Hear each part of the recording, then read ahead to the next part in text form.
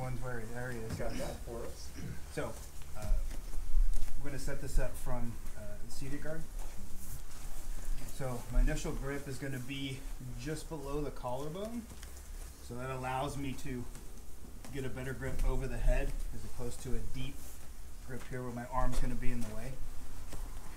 So I wanna pull to force him to come forward, not so much sit up. Too easy to posture and pull the head out.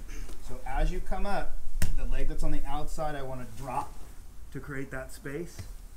And what's important is when the shoulder comes over, you're not just dropping here. So at this point, without controlling, he's just going to loop his head out. Okay. So once that shoulder comes over, I'm dropping the shoulder down and pulling the collar. Okay, try and move down now. It keeps the head in place. Opposed to just coming here like this, where he's going to duck under and clear. Okay. So pull enough to almost pull yourself up here and then create this. My second grip is to open this. I don't want him to shut this space down. Okay. So here and here. So, like I said, just below the collarbone, I drop this to create space, loop over, and then open up the elbow on the opposite side. I got it? So this arm is going to come through, palm up, and my head's going to follow here. This hand is going behind the head. As I pull the collar, I'm extending the opposite arm.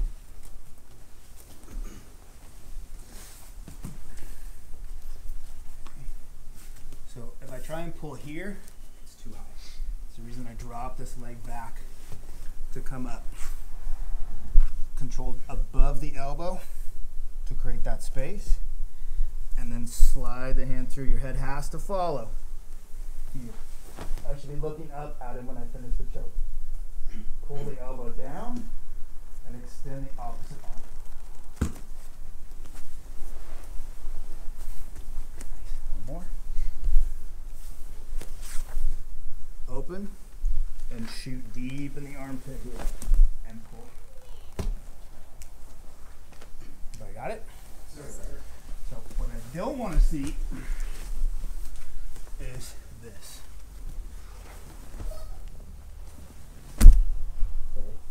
Rotate under your partner. The roll is his option to try and defend the choke. Okay. Over here,